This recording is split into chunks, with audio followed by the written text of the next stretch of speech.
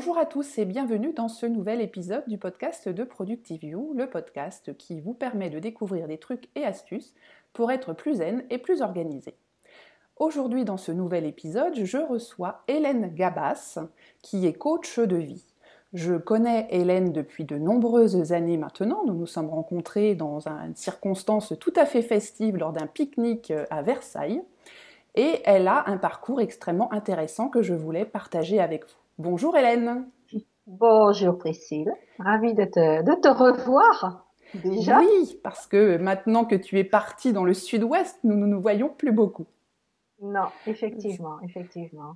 Alors je voulais, je voulais absolument te, t'interviewer euh, aujourd'hui parce que je trouve que ton parcours est extrêmement intéressant et pourra inspirer de très nombreuses personnes parmi mes auditeurs euh, et, je voulais vraiment partager, euh, partager avec eux. Quand je t'ai rencontré, donc il y a maintenant 7 ans, pas loin, tu n'étais pas du tout coach de vie puisque tu es coach de vie depuis 2 ans, 2 ans et demi. Oui. Et est-ce que tu peux nous, nous, dire un peu donc quelle était ta mmh. situation à l'époque? D'accord, pas de souci. Alors déjà, merci de d'avoir repris contact avec moi. Si je peux éventuellement euh, partager mon expérience afin de euh, montrer aux gens qu'il faut toujours croire en soi et qu'elles puissent se faire, euh, enfin que les personnes puissent se faire confiance et avancer dans la vie, même s'ils ont des gros cailloux sur leur chemin. Ben voilà, je le fais avec plaisir. Donc en fait, en 2010, avant de te connaître, donc, euh, moi, j'étais une femme mariée qui avait une vie bien rangée, avec euh, deux grands enfants qui étaient étudiants, mais qui étudiaient euh, loin de Versailles. C'était la ville où je résidais. Et, et voilà. Et j'avais un relationnel assez important et je m'occupais en plus d'une association qui avait pour but d'apprendre la langue française à des étrangers. Voilà. Donc j'avais une vie une petite vie bien rangée, mais bien bien pleine, on va dire ça comme ça. Mm-hmm. Et du jour au lendemain, euh, j'appelle ça un tsunami, a débarqué chez moi, voilà, et a tout détruit sur son passage comme un tsunami. À tel point que euh, j'ai dû prendre la décision de divorcer. Et à ce moment-là, j'avais toutes les peurs qui étaient euh, qui venait à moi parce que euh, je ne maîtrisais plus rien dans ma vie. C'est-à-dire que en tant que coach, maintenant je peux le dire puisque je suis coach, euh, on a ce qu'on appelle une roue de la vie avec euh, plusieurs petits camemberts dans cette roue qui sont euh, la famille, la santé, l'argent, le travail, l'environnement, enfin bon et j'en passe. Mm-hmm. Et si j'avais dû à l'époque être coaché, on m'aurait demandé sur une échelle de 0 à 10 euh, à combien tu t'évalues dans ces, ces petits euh, ces petits camemberts, petites tranches. J'aurais dit vraiment au maximum à 4 sur 10. D'accord. En sachant qu'il y en avait certains qui étaient vraiment ouf Franchement. Donc tout était à reconstruire, c'était vraiment un champ de ruines. Mm. Côté professionnel, je n'avais pas de travail. Donc à l'époque, j'avais 46 ans fallait absolument que je retrouve du, que je trouve, pas que je retrouve, que je trouve du travail. Parce, que tu étais restée mère au foyer en fait pendant ah, longtemps. oui, oui, depuis très très longtemps. C'était mm. un choix et que j'assumais, qu'on mm. assumait et qui était moi m'apportait énormément de plaisir. Et là, il fallait bien euh, se remettre à, à travailler. Euh, côté relationnel, je dirais que bon, en voyant le côté positif maintenant, ça m'a permis de faire pas mal de ménage beaucoup de personnes euh, ben, traversaient, hein, mm-hmm. changer de trottoir en me voyant. Euh, côté familial, euh, moi j'avais alors j'avais des enfants qui étaient loin et que je voulais absolument préserver, donc je ne comptais pas sur eux et je ne voulais pas de toute façon. Mm-hmm. Côté santé, alors là, elle a évidemment il y a eu des répercussions. Hein, J'ai perdu pas mal de kilos. Tu as dû me voir d'ailleurs Mais oui, oui, je me souviens bien. Je me souviens ah, bien. Oui, oui. Voilà, voilà. Euh, donc voilà, ben, tout était à reconstruire. Mais vraiment. Hein. Et euh, oui. Et donc tu, tu, as décidé à un moment de, euh, bah, de reconstruire en fait. Oui, ouais, ouais, ouais. J'ai décidé, mais c'est-à-dire que c'est venu graduellement et en même mmh. temps, dès le départ, j'ai senti que j'avais une force en moi. Mmh. Voilà. Et cette force, elle a été en même temps décuplée par le fait que j'ai eu sur mon chemin et j'ai j'ai toujours fait confiance à ma vie et mmh. je voulais absolument vivre heureuse quoi qu'il arrive. Donc j'ai euh, eu sur mon chemin des personnes quand même bienveillantes et j'ai fait attention à elles et elles sont arrivées. Notamment, alors je vais n'en citer que deux. Il y avait une amie qui était japonaise, donc qui faisait partie de cette association euh, à laquelle je, je lui apprenais le français. Justement, mmh. il n'y a pas de hasard dans la vie. Et euh, c'était l'été, et euh, elle m'a menée au parc du château de Versailles, que tu connais bien, Priscille. Et euh, elle, euh, elle m'a menée juste pour pour écouter, pour s'asseoir, pour écouter les oiseaux, pour voir les gens qui passent. C'était une forme en fait de de contemplation, de méditation un peu, de méditation en conscience. Mais moi, je n'en avais aucune, voilà, je ne savais pas ce que c'était. J'étais mm. pas du tout là-dedans. À l'époque, j'étais très cartésienne, et puis ça s'arrêtait là. Hein. Mais je le faisais. Mhm. Euh, J'avais besoin d'aide de toute façon, donc je le faisais, je l'écoutais, et petit à petit, euh, oui, effectivement, je me suis aperçue que euh, ça portait ses fruits, que ça m'apaisait. Donc, c'était une des premières choses, il fallait que je sois apaisée. Mhm. La deuxième personne, c'était une personne professionnelle, une kinésiologue, qui elle m'a apporté énormément. Euh, j'avais l'image, alors je fonctionne beaucoup par image, mais c'était ce qui me venait à l'esprit. J'étais au bord d'un ravin et euh, donc il y avait le précipice sous moi, et j'ai le vertige hein, naturellement. Et de l'autre côté, il fallait que j'arrive de l'autre côté du ravin, mais je ne savais pas comment. Et petit à petit, en quelques séances, elle a réussi à me mettre. Alors c'était pas grand chose, hein. il y avait déjà un fil du, du bord du ravin à en face. Mm. Ensuite, il y a eu une corde, puis une planche, ce qui fait que euh, quand je suis partie de Versailles, donc trois ans après, il y avait même plus le ravin. Mhm. J'étais vraiment, euh, ce que j'ai compris après, euh, c'est que ce ravin, c'était euh, cette fissure dans ma vie. Bien sûr. Et euh, mais j'en avais pas conscience non plus. Hein. J'étais pas du tout là-dedans. Et en fait, euh, ben mon chemin, c'était, il y avait la brèche, c'était, euh, c'était comment dire, réparé, et le ravin, ben il avait disparu, tout mm. simplement, et je pouvais continuer ma vie. Ah, c'est une très belle, euh, c'est une très belle histoire, euh, Hélène, cette euh, façon dont tu as comblé, comblé cette brèche. et donc, même si, ça t'a pris de, de, nombreuses années, puisque tu me dis trois ans, mais c'est trois ans de construction, parce qu'évidemment, on ne construit pas, on se reconstruit pas en une journée comme on ne se construit pas en une journée. on peut se détruire très rapidement, mais reconstruire c'est beaucoup plus beaucoup plus lent. Non, il faut s'il y a un maître mot, mais j'en parlerai peut-être à la fin, c'est la mm. patience. Bien sûr, bien sûr. Ça, c'est euh, voilà. Donc j'ai eu effectivement, comme tu me l'as dit, trois années très sombres. Euh... Mais de plus en plus claires. Oui, voilà, on va dire ça comme ça. Mais malgré tout, il a fallu que je passe ces années mm. sombres. Euh, mais j'avais cette force en moi et cette énergie. Voilà, je, je, vivais les défis que je devais relever comme une aventure. En fait. Mm, tout simplement. Enfin, tout simplement. C'est après, après, euh. coup, après coup, c'est toujours facile à dire. Voilà, Sur le coup, ça se présente pas forcément euh, comme ça. Ouais. vraiment. Donc voilà. Donc euh, la première aventure, c'était la recherche du travail. Mm-hmm. Indispensable. Et là, j'ai, grâce à une amie également, pu avoir un poste d'assistante dentaire dans un quartier UP de Paris. Euh, sauf que il fallait que je reprenne des études pour pouvoir euh, obtenir un CDI par la suite et mhm. avoir vraiment ce diplôme d'assistante dentaire. Donc me revoilà partie à 47 ans à l'école avec euh, des jeunes femmes de 20-25 ans euh, mhm. pendant 18 mois. Et voilà, et j'ai eu mon diplôme, très fière d'ailleurs, euh, pour pouvoir me dire en fait que rien n'est figé. rien n'est figé et on peut tout à fait tout à fait euh, avancer dans sa vie. Voilà.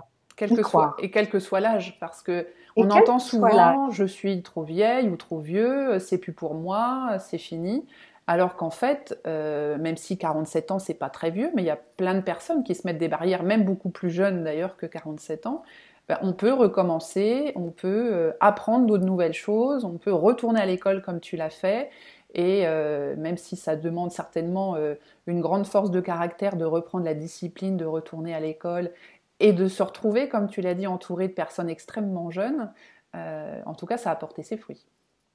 Oui, oui, oui, oui, tout à fait. Mais je pensais à l'époque que je n'avais pas le choix, c'est-à-dire que mm. j'étais encore dans un moule où euh, le plus important, c'était de trouver du travail, de gagner de l'argent, et tout le reste, tout ce qui était les désirs profonds, les envies, ben, euh, c'était quand on avait le temps et quand tout mm. le reste était comblé. Voilà, donc j'étais dans ce moule mm.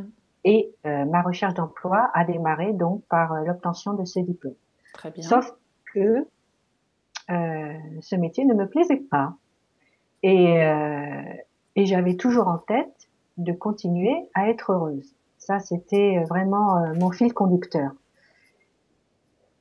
Et il s'est trouvé qu'il y a eu un déclic, euh, comme tous les franciliens qui connaissent le système du métro boulot dodo. Euh, je passais donc mes jours à prendre le train à Versailles, à aller ensuite euh, prendre le métro gare Montparnasse. Mon cher dentiste, lui, avait entre-temps déménagé et se trouvait dans le nord de Paris, donc j'avais un changement. Et j'ai essuyé quelques grèves. Voilà, ça c'est le bonheur des Parisiens.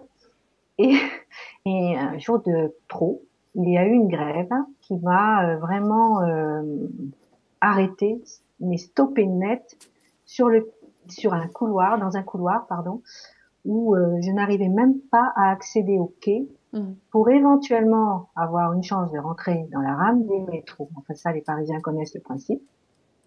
Mais moi, je me suis arrêtée et j'ai eu un déclic et je me suis dit stop, mmh. stop, c'est pas ta vie. Soit tu continues, comme j'appelais ça, à mener ta vie de rat deux fois par jour, et éventuellement tu peux le regretter, soit tu changes et tu te donnes ce qu'il faut pour être heureuse. Voilà. Et ma vie pour être heureuse ne passait pas par le métro, le train et ces allées venues. Euh, voilà. Mm. C'était pas, ça ne me concernait pas en tout cas moi personnellement. Donc je me suis écoutée. Et donc euh, ça s'est traduit comment cette écoute? Raconte-nous tout. Ouais, je sais un petit peu, mais ben, dès lors où je me suis écoutée, mais réellement profondément écoutée, mm. tout s'est enchaîné très vite. Mm. C'est-à-dire que ce divorce qui n'avançait pas, qui a duré trois ans, en quelques mois, on m'a dit ça y est, on m'a donné un rendez-vous et j'ai pu donc avoir ce divorce en poche quelque part. Mm. Euh, et je suis après partie au Pays Basque. Alors pourquoi le Pays Basque? Euh, Est-ce que c'est moi qui l'ai choisi? Est-ce que c'est lui qui m'a choisi? Ça, c'est une grande question. Euh, je sais de toute façon que j'avais besoin d'oxygène. J'avais besoin de nature. J'étais une citadine à part entière dans mon ancienne vie. Mm-hmm. Et du jour au lendemain, je n'avais plus besoin de ça. Mm. Et j'avais au contraire besoin ben, d'océan, de montagnes, euh, une façon de me ressourcer, je pense. Ouais, ouais. Donc voilà. Et le Pays Basque, je connaissais un petit peu pour y être allée en vacances. Et je me suis dit, allons-y. Voilà. Et j'y suis allée, ne connaissant personne. Mais, oui, sans, sans peur. Vraiment, si je repartais à l'aventure en me disant que tout était à construire de toute façon. Maintenant, je peux dire ici, puisque mmh. j'habite, euh, j'habite à, Bayonne. Voilà. Et, euh, et très contente d'y être, en tout cas très très heureuse. Voilà. Donc te voilà arrivé euh, à Bayonne, nous avoir abandonné tout seul dans la grande ville. Euh, et, et, donc là, comment tu t'es organisé Puisque comme tu le dis, tu n'avais pas spécialement d'attache euh, sur place, c'était encore une nouvelle étape de ton aventure. Absolument. Alors il y avait, encore une fois, je pense que je me suis moi-même coachée, mhm. sans le savoir, parce que euh, j'attachais de l'importance à pas mal de détails mmh. qui pouvaient être des détails mais qui n'en étaient pas justement. Et je me souviens euh, d'un fait marquant euh, chez un ami qui avait un tableau chez lui. Et, euh, et ce tableau représentait euh, un homme qui marchait sur un chemin droit. Il était de dos Sauf que euh, il regardait quand même le spectateur, celui qui regardait le tableau. Il avait la mm. tête mm. retournée. Mm.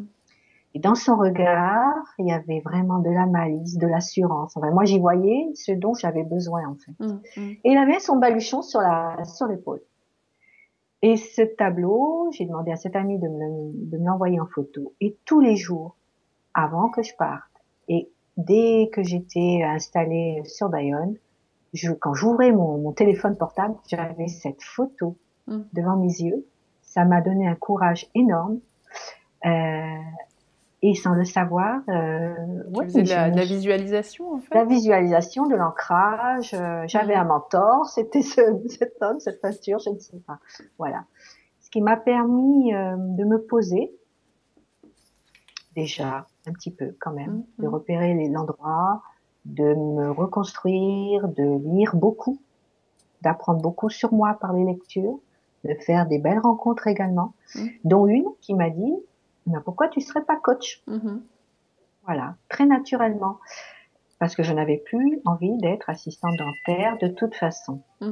Euh, et cette personne qui m'a dit pourquoi je ne devais, je ne pouvais pas être coach, qui m'a soumis cette idée. Euh, personnellement, moi, le coaching, c'était du coaching sportif. Je n'en étais que là. Mhm. Euh, je ne savais même pas que ça existait, le coaching de vie. Donc, je me suis renseignée parce que j'avais quand même dans l'idée d'aider les gens. Aider les gens d'une manière ou d'une autre. Et ça a toujours été dans mon association auparavant, au cabinet dentaire. Les mhm. gens venaient me voir je les écoutais, ils me racontaient leur vie et voilà, c'est ce qui se passait à mon bureau d'assistant dentaire. Donc j'avais quand même cette piste où je me disais je peux quand même apporter quelque chose aux personnes qui viendraient éventuellement me voir. Mais c'est vrai que tu as une très grande écoute, tu as une très grande capacité d'écoute et donc euh, ça n'est pas surprenant. Certainement. Donc voilà, donc euh, je me suis renseignée, j'ai fait quelques formations et, je suis devenue coach de vie. Voilà. Très bien. Écoute, euh, et tout ça en quoi En 5 ans? Oui, euh, 5-6 ans. Euh, j'ai même fait d'autres formations. En fait, maintenant, je m'écoute. Et mmh. c'est le mmh. maître mot euh, de ce qui, ce qui a pu m'arriver dans ma vie. Ce que je ne faisais pas forcément avant d'ailleurs. Euh, j'écoutais plus les autres, mais je m'écoutais pas moi. Donc, euh, je reléguais mes envies et mes besoins vraiment au second plan, mm. alors que maintenant, c'est ma priorité avant d'écouter les autres, c'est être moi-même et être bien. D'accord. Bah écoute, c'est une magnifique histoire. Et donc, tu es installée à Bayonne? Oui, tout à fait. Et tu travailles avec euh, donc des particuliers, tu fais des groupes, euh, ça se passe un petit peu comment ton travail aujourd'hui? Alors en ce moment, je suis alors donc j'ai ouvert un cabinet coaching. Mmh avec deux autres personnes. Euh, je travaille en particulier en face à face avec mmh. des, personnes qui viennent me voir. J'anime également des ateliers autour d'un jeu qui s'appelle le jeu de la source, euh, qui permet aux personnes de travailler sur elles, mais d'une façon peut-être plus ludique, mmh. et qui permet une approche du développement personnel voilà, pour les personnes qui ne savent pas ce que c'est, comme moi il y a il y a trois ans, je ne savais pas ce que c'était. Donc j'imagine qu'il y a d'autres personnes qui sont comme moi encore euh, et qui qui est présenté donc d'une façon beaucoup plus ludique, mais très très intéressante et mm. qui peut aller très très loin. Mm. Voilà. Et j'ai également en ce moment mis en place, euh, parce que ça me tient également à cœur, ce que j'appelle des matinées café et chocolat où euh, je laisse les gens venir dans un café pour prendre un, voilà, un chocolat ou un thé, peu importe, c'est le matin, une fois par mois, juste dans le but de réunir les gens, de d'échanger autour d'un thème et de faire que les personnes qui n'étaient pas censées se croiser se croisent à un moment donné de leur vie. Parce que ça, je pense que euh, ce que la vie a pu m'apprendre, c'est ça, c'est euh, que toutes les personnes sont importantes et de sortir un petit peu de son champ, de son mm. champ de, vie mm. et de s'ouvrir aux autres. Voilà. Sortir de sa, de sa, petite zone de confort aussi, souvent. Oui, je l'emploie pas là. On peut dire professionnel, mais c'est très bien. Ça me rappelle un peu, euh, entre guillemets, euh, nos sorties café du temps d'OVS, euh, Hélène. Mais c'est bien parce que là, avec un but, une discussion, ça me paraît une très très bonne idée. Bah écoute, où est-ce qu'on te retrouve sur les réseaux sociaux? Alors, vous allez me retrouver sur Facebook. Très bien. J'ai un site également. Ta page s'appelle Coach de vie? Oui, tout à fait. Hélène Gabas, coach de vie. Tout à fait. Je mettrai le lien, bien évidemment, dans, dans les notes du, du, podcast. Voilà. Et puis... J'ai un site également, voilà. gabas-coachdevie.com. Voilà. Très bien. Donc on mettra, euh, on mettra les liens. Et puis donc on peut te rencontrer sur euh, sur Bayonne. Et est-ce que tu fais aussi des, des, séances virtuelles via euh, des outils comme Skype ou, ou autres J'ai la je, je, peux en faire. Pour l'instant, je n'en fais pas. le cas ne s'est pas présenté. Mhm. Mais euh, oui, oui, oui, j'ai l'intention de, de, de, mettre ça également en place. Bon, bah écoute, voilà, on peut aller te rendre visite à l'occasion d'un joli week-end euh, à ah, Bayonne, au soleil, euh, près de la montagne. Ah oui, c'est clair, c'est clair. Écoute, Hélène, ça m'a fait extrêmement plaisir d'échanger avec toi ce matin.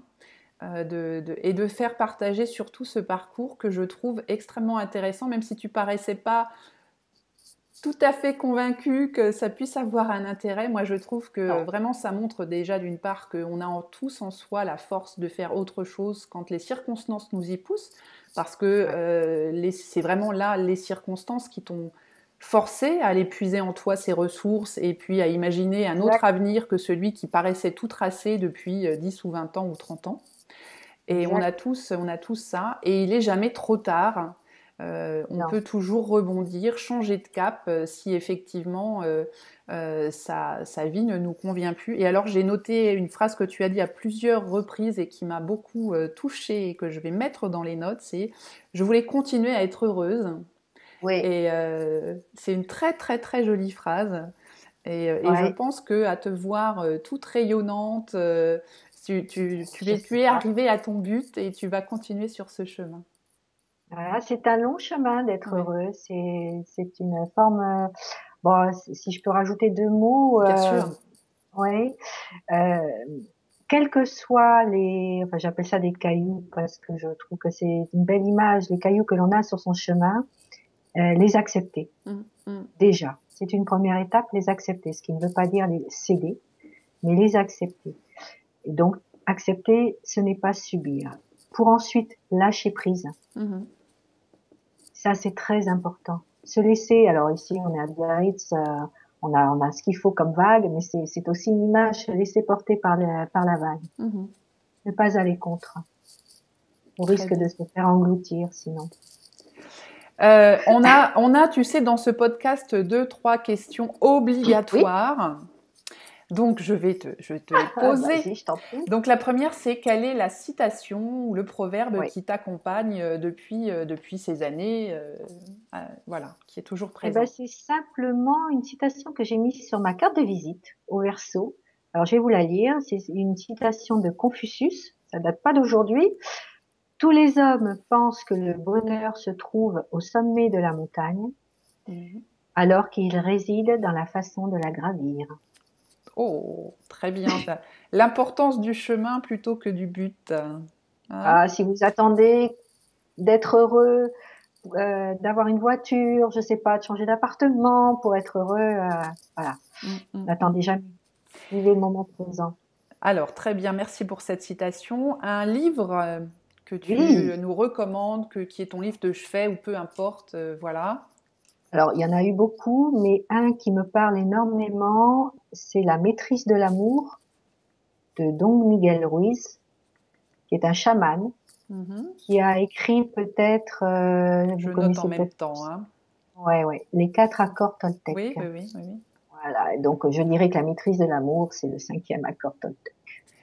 Voilà, il, a, il, a, sorti le cinquième Alcor Toltec parce que je l'ai acheté récemment. Il est dans ah, ma pile à lire. Donc il y a effectivement, il y a, ben moi non plus, je dis, il est dans ma dans ma grosse pile à lire de l'année parce que genre une quinzaine de livres, j'en ai déjà fait trois. Euh, et il y a effectivement, voilà, il y a le cinquième accord euh, qui, qui est sorti récemment. Donc euh, à suivre.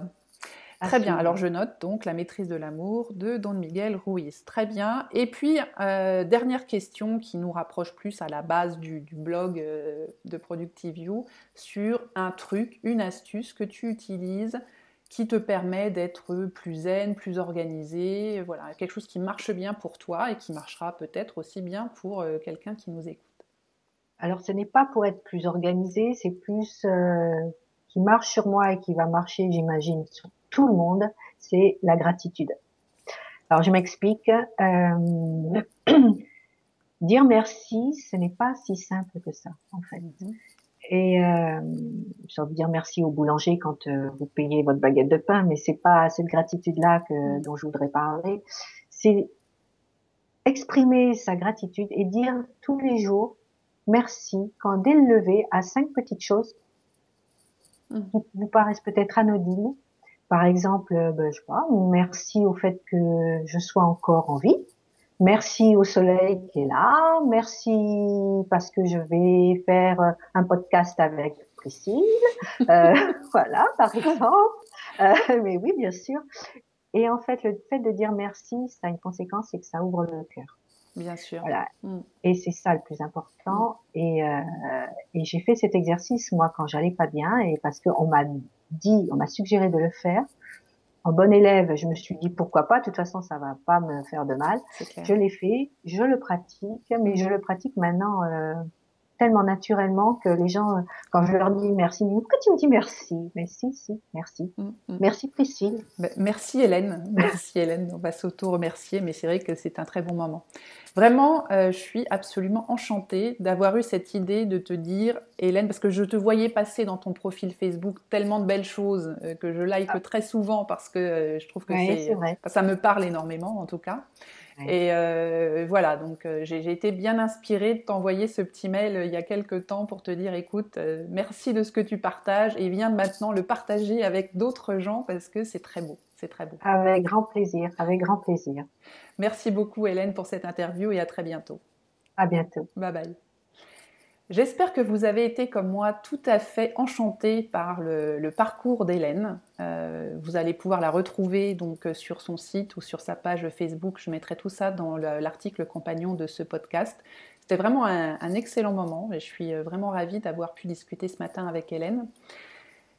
Donc cet article, si, ça vous plaît, hein, si vous a plu, n'hésitez surtout pas à le partager avec des personnes qui, autour de vous, peuvent aussi avoir besoin d'aller chercher la force en elles et de changer parce que voilà, ils se retrouvent dans des situations un peu difficiles et on a tous la possibilité de, changer et d'avancer vers un autre chemin qui nous conviendra mieux. Donc partagez-le sur les réseaux sociaux, sur Facebook, sur Twitter, euh, absolument partout. Et puis, si vous aimez ce podcast, n'oubliez pas d'aller euh, mettre une note, une revue, des étoiles, puisque c'est la seule façon de le faire connaître, hein, c'est de mettre des étoiles euh, et des commentaires sur, sur iTunes. Pour ceux qui suivent euh, le blog ou le podcast depuis un certain temps, euh, vous allez voir que à présent dans l'article compagnon, je mets un lien vers une plateforme qui s'appelle Tipeee.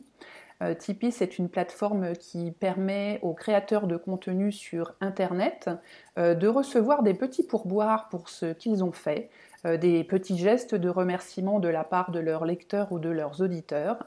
Euh, et moi, ça me permet eh bien, de participer euh, du coup à une partie des frais que j'engage tous les mois, euh, puisque je fais mon activité bénévolement. Et donc voilà, ça, ça permet un peu ensuite de couvrir une partie, une partie des frais.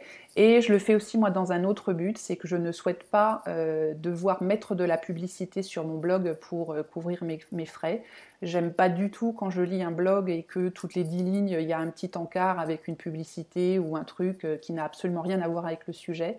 Donc je, ça me tient vraiment à cœur que vous puissiez aussi, vous, garder cette liberté de ne pas être pollué par de la publicité. Et voilà pourquoi aussi je, fais appel à Tipeee pour euh, tenter de couvrir une partie de mes frais. Voilà, c'est un peu long euh, cette explication. Vous allez voir de toute façon qu'en pied des articles, je mets à chaque fois un petit lien. Donc n'hésitez pas à m'offrir virtuellement euh, un petit café, un petit thé ou autre. Vous verrez, il y a des petites, des petites récompenses à chaque fois que je, que je vous propose. Voilà, c'est fini pour cette semaine. On se retrouve très très vite, donc dans 10 jours, pour le nouvel épisode. Bye bye